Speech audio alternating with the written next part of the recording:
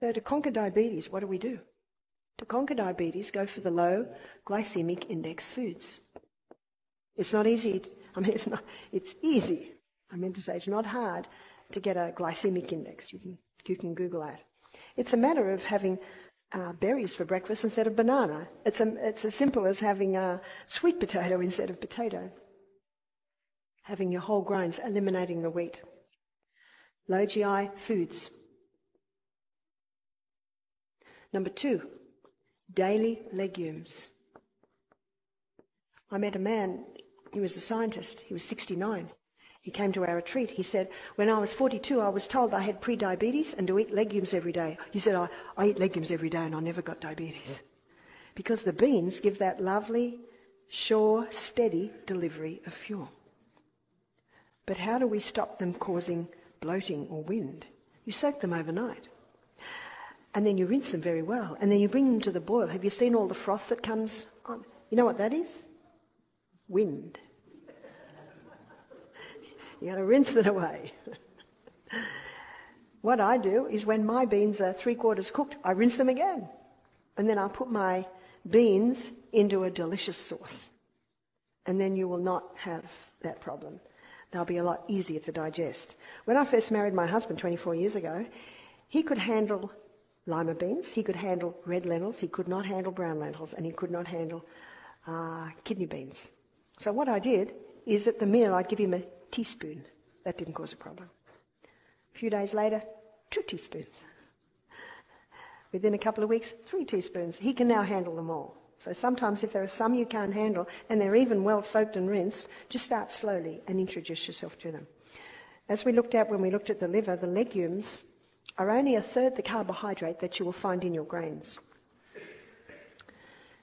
Number three, there are some things that must stop. What must stop is wheat. What must stop is refined sugar.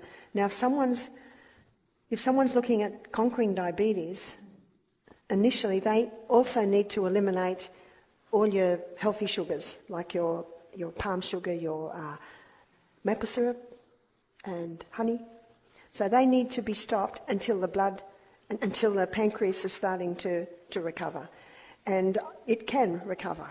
One young man named Dan did our uh, program. He was type 1 diabetes. He got diabetes after a strong course of antibiotics at the age of 15. He's now 19. He said, my, my specialist said my pancreas is dead. I said, Is it gangrene? What's dead? I said, If there is blood going through your pancreas, it's not dead. The life of the flesh is in the blood. So he began to do this. Another thing is no, no wheat, no caffeine, and no, no refined sugar and no caffeine. Caffeine can actually get an insulin response, so that has to be stopped. When he came to our retreat, he ate only low glycemic foods, he had legumes every meal. He started to drink more water, hydration. And what he found was if he felt that he was getting a blood sugar level low between meals, he'd have a little bit of the salt and a glass of water, and it would maintain him. I do not advise diabetics eat every two hours because that really disrupts digestion. When we looked at the journey through the gut, did you notice that digestion averages three and a half to four hours? So you've got to leave that break between meals. If you eat food, and this is what Dan did, and we just looked at this high fiber. Remember what fiber does? It slowly releases the glucose. Generous proteins, there's your legumes, nuts, and seeds. They're all low carbohydrates, so you're not overworking the pancreas. And also the healthy fats. We also looked earlier in the week at fats that heal, the fats that kill. And the killer fats are your altered fats. There's your deep fried foods. There's your margarines, those fats that have been changed or altered. Or your polyunsaturated fats that have been extracted using high heat. They're the dangerous fats. These are the three foods that keep the food in the stomach longer. These are the ones that give that steady, consistent delivery of fuel.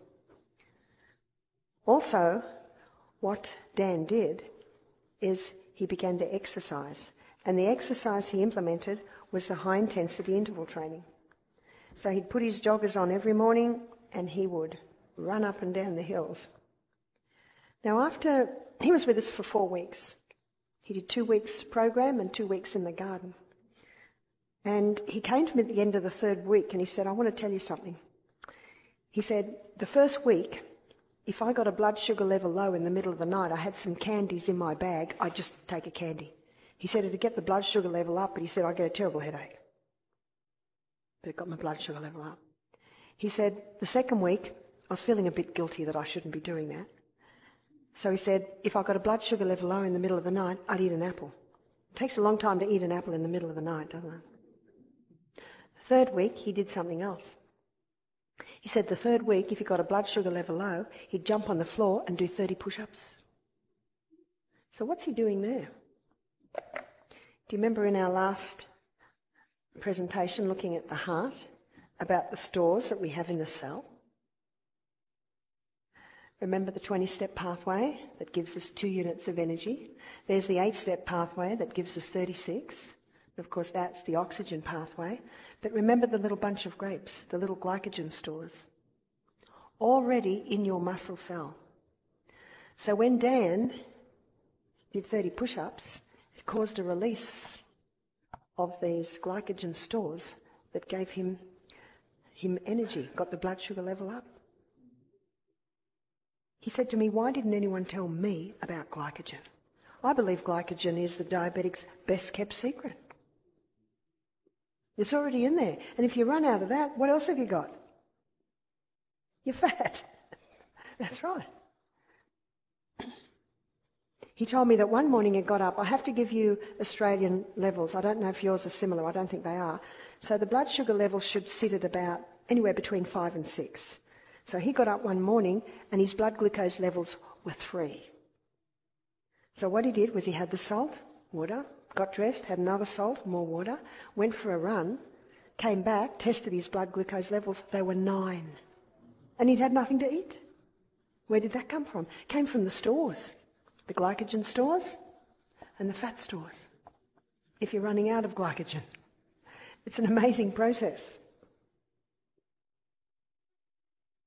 That's why exercise is vital. Not only that, what happens when you exercise and you're doing the high intensity? Your cells screaming out for fuel. So what happens is extra insulin receptor sites develop on the membrane around the cell so that it can take more glucose in. That's quite incredible, isn't it? Now, before someone develops diabetes, they usually start with insulin resistance. You've heard of insulin resistance. what happens with insulin resistance?